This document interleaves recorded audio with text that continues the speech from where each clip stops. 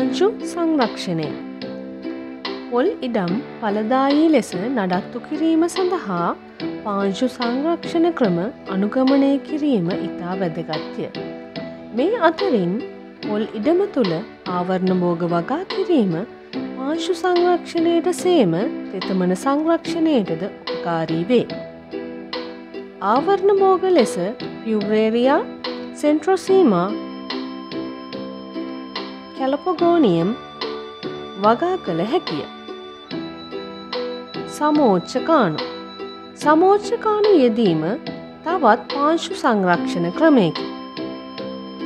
සියට දහයට වඩා වැඩි බෑවුම් සහිත ඉඩම් සඳහා සමෝච්චකානු යෙදීම කළ යුතු අතර එමගින් තෙතමන සංරක්ෂණය වීම අමතරවාසිය. ගලිරිසීඩියා පඳුරු ආවරණ බෝගයක් ලෙස ගලිරිසීඩියා සිටුවීම සිදු කළ හැකිය.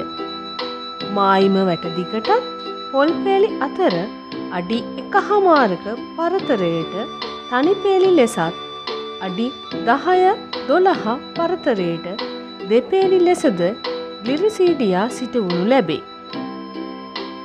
හෙල්මලු බෑවුම් සහිත ඉඩම්වල හෙල්මලු ඉදිකිරීම මගින් පොහොරකවයෙන් පෝෂක ඉවත්වීම අවම කරයි.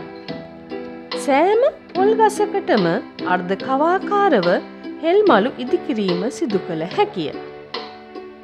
බෑවුම් පැත්තට ගල් ඇල්ලීම මගින් හෙල්මලු නොකැඩී ආරක්ෂා කරගත හැකිය.